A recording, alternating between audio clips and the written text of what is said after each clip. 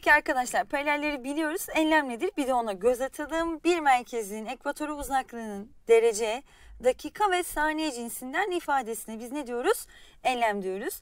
Özel enlemler nelermiş hemen onları bir göz atalım. Yine sorularda karşınıza özel enlem diye e, farklı ayrıntılar çıkabilir. Bilmekte fayda var.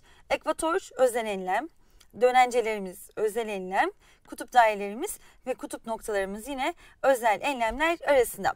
Peki şimdi ekvator dedik, özel enlem dedik. Peki nedir bu ekvator? Ekvatorun özellikleri nelerdir? Onları hemen bir göz atalım. Ekvator deyince aklımıza en önemli şey başlangıç paralelidir. Bunu e, daha ilk derslerimizde öğrenmiştik. Başlangıç paraleli olduğunu biliyoruz. Bir ikincisi Güneş ışınlarını yılda iki kez dik alır. Bakın arkadaşlar buraya vurgu yapıyorum.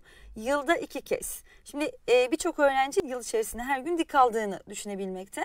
Ama ekvator sanıldığının aksine sadece iki kez dik alabilmekte. Peki çizgisel hızı en fazladır diyor. Neden? Yine en büyük paralel olması. Yani temelde dünyanın şekline bağlı olarak çizgisel hızımız en fazla. Gece gündüz süreleri sürekli eşittir. Bunu karıştırmıyoruz. İki kezlik geliyor fakat gece gündüz yılın her günü 12-12 yani eşittir. Bunu da unutmayalım. Tam ve grup süreleri en kısadır. Neden dersek güneşin önünden en hızlı geçen çizgisel hızı en fazla olan ekvator olduğu için tam ve grup süreleri en az olan da yine ekvatordur. Yer çekimi yine kutuplara doğru arttığı için ekvatorda yer çekimi en az.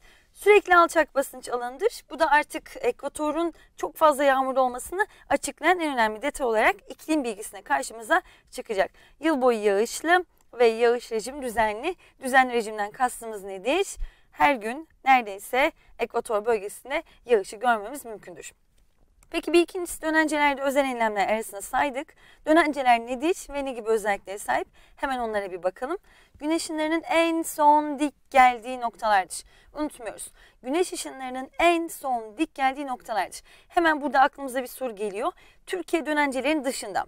Bunu biliyoruz.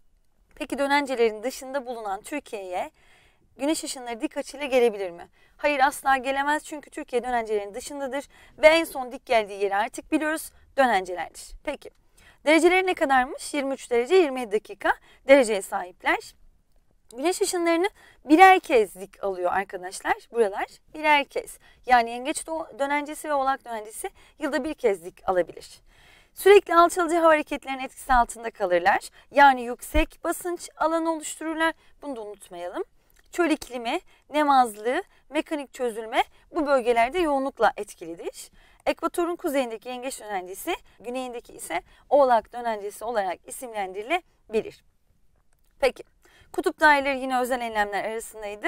Kutup daireleri deyince de aklımıza derece olarak 66 derece 33 dakika kuzey ve güney enlemleri gelecek. Kutup noktaları nedir dersek 90 derece enlemleridir. Çizgisel dönüş hızı yoktur yani sıfırdır. Yerçekim ve grup tan süresi en fazladır. Kalıcı kar sınırı deniz seviyesindedir. Bunları da unutmayalım.